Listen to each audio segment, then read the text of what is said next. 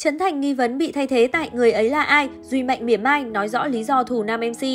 Tối ngày 29 tháng 4, khung hình có sự xuất hiện của Châu Bùi, Ngô Kiến Huy, Bảo Thi, Tiểu Vi khi ghi hình trong một chương trình lan truyền trên mạng xã hội. Từ đây, cộng đồng mạng nghi vấn Trấn Thành tiếp tục bị thay thế thêm một chương trình nữa. Trong ảnh, không ít người dự đoán đây là show Người ấy là ai mùa năm nhờ vào khung cảnh vô cùng quen thuộc đằng sau các nghệ sĩ. Việc vắng mặt Trấn Thành trong bức ảnh khiến nhiều khán giả đặt nghi vấn liệu nam MC có tiếp tục dẫn dắt chương trình hẹn hò đình đám trong mùa này. Vừa qua, trong buổi họp báo siêu tài năng nhí mùa 4, ekip chương trình cũng đã xác nhận Trấn Thành sẽ được thay thế vị trí bởi Đại Nghĩa. Theo chia sẻ của Harry Won, ông xã cô đang bận rộn với dự án phim ảnh mới, hơn nữa chương trình cũng cần thay thế để có màu sắc mới mẻ hơn. Là một MC nổi tiếng về độ hoạt ngôn, hóm hình và có kiến thức tốt, chính vì vậy Trấn Thành thường xuyên được mời làm giám khảo hay MC trong những game show lớn. Tuy nhiên, không ít lần nam MC nổi tiếng gây xôn xao về việc rút khỏi những chương trình từng gắn bó với mình. Ngoài siêu tài năng nhí thì MC Trấn Thành từng giữ vai trò giám khảo trong chương trình Hát mãi ước mơ suốt 3 mùa phát sóng, dù vẫn rất thành công, nhưng đến mùa thứ tư, danh ca Ngọc Sơn bất ngờ thay thế Trấn Thành làm giám khảo cùng với Võ Hạ Trâm. Lý giải cho sự thay đổi này, nhà sản xuất cho biết sự thay đổi về giám khảo sẽ mang lại điều mới mẻ cho khán giả. Tuy nhiên tại thời điểm đó, Trấn Thành là nghệ sĩ vướng vào ồn ào liên quan đến kêu gọi từ thiện miền Trung 2020. Trước những thắc mắc của cư dân mạng, MC Trấn Thành đã sao kê để minh bạch khoản tiền đóng góp, nhưng dường như ồn ào vẫn không lắng xuống. Nhiều khán giả cho rằng đây mới chính là nguyên nhân nam MC nổi tiếng không còn được xuất hiện trong chương trình. Sau đó, việc Trấn Thành vắng mặt trong hai chương trình đình đám là Thách thức danh hài và Running Man Việt Nam mùa 2 cũng từng trở thành điểm gây chú ý với khán giả. Nhiều người thắc mắc lý do một ngôi sao hút fan như anh lại bay màu tại hai game show đình đám này.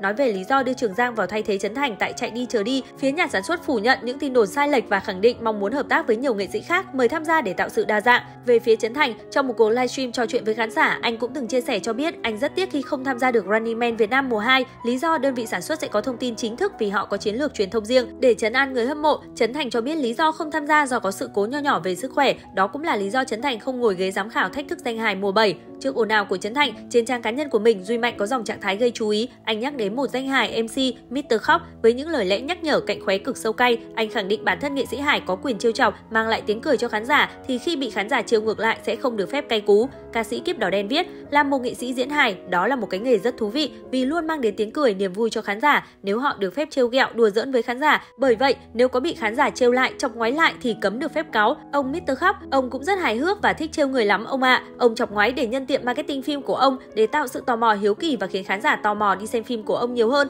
Trong phim của ông còn nhắc đến một nhân vật có tên là Mạnh Mong Manh, cũng thích chọc ngoáy và thích đùa lắm cơ. Ông làm MC rap Việt, ông cũng nhắc tên người khác ra để chọc ngoáy nốt, thế mà đến khi anti-fan đùa giỡn ông, chọc ngoáy ông thì ông lại khóc, gào to lên cho cả nước thấy là ông bị oan. Ông hài hước lắm ông ạ, à. ông có thôi ngay đi không hả? Dù không trực tiếp nhắc tên ai, thế nhưng Mr. Khóc được biết đến là biệt danh của Trấn Thành. Dưới bình luận, khán giả cũng liên tục giáo tên ông xã Harry Về phía Trấn Thành, đến hiện tại nam diễn viên vẫn chỉ giữ im lặng trước hàng loạt những ồn ào vừa qua.